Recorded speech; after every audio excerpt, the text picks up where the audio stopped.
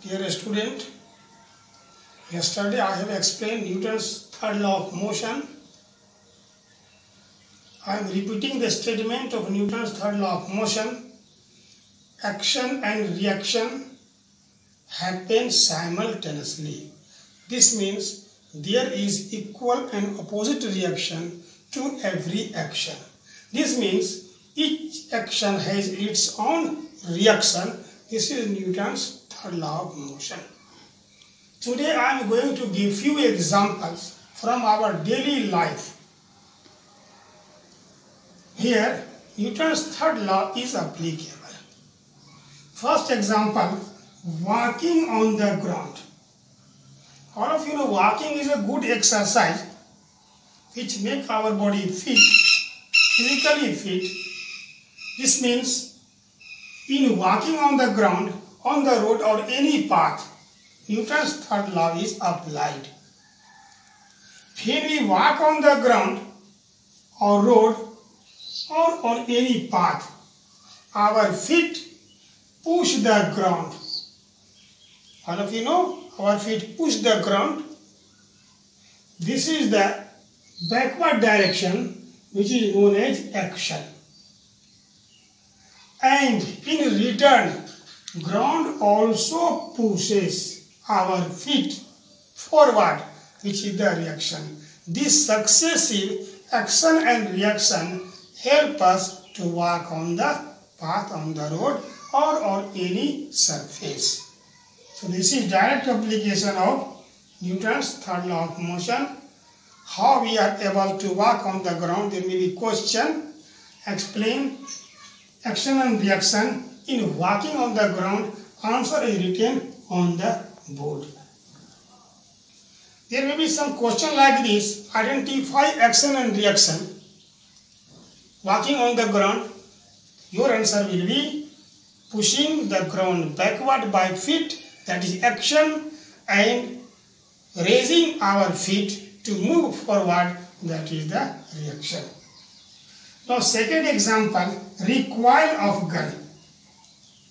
All of you enjoy in Rashtriya Sarjanik Mela or anywhere, here you fire a gun and you use the bullet of the gun to break the balloon a stick on the wire.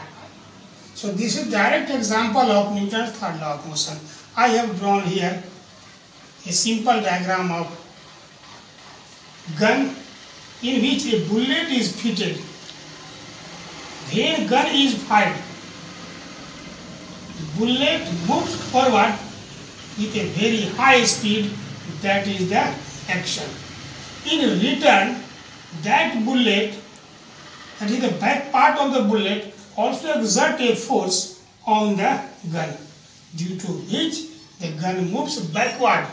The backward movement of gun is known as recoil and the velocity with which the gun comes back that is known as recoil velocity which is popularly known as recoil of gun. So I have written when gun is fired it exerts a forward force on the bullet. There are some systems, some spring, some mechanism in the gun. When we press the striker, that is called a trigger, it exerts a force on the bullet and bullet moves forward. The bullet also exerts a backward force on the gun, due to which a gunman, the person who is firing the gun, get a backward jerk on the shoulder. That's why it advises a gunman when you fire the gun, you have to hold it tightly, otherwise it may injure. So there are so many questions. Why gun recoil? Why do we get backward jerk when we fire a gun? So firing of gun and recoil of the gun, this is the example of Newton's third law of motion. Third example, launching of rocket. All of you enjoy during Deepavali or any other function in your family, in your locality, in your surrounding. Here you have to light the rocket. There are some chemicals fitted in the rocket.